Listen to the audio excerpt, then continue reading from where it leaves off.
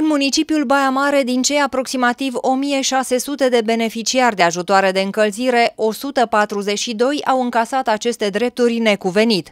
Cea mai mare parte a acestora au restituit banii, dar mai este de recuperat în jur de 10% din sumă. Anul acesta mai avem de recuperat de la 15 persoane în jur de 5800 de lei, contravaloarea ajutoarelor necuvenite.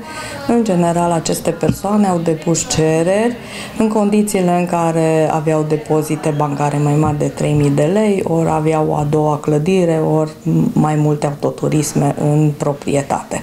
Față de anii trecuți, numărul beneficiarilor a scăzut foarte mult, având în vedere faptul că inițial erau aproximativ 25.000 de băimăreni care obțineau bani de la stat pentru compensarea costurilor de încălzire a locuinței, iar acum vorbim de 1.600. În același timp a scăzut și numărul celor care au primit acest tip de ajutor, fără a avea însă acest drept.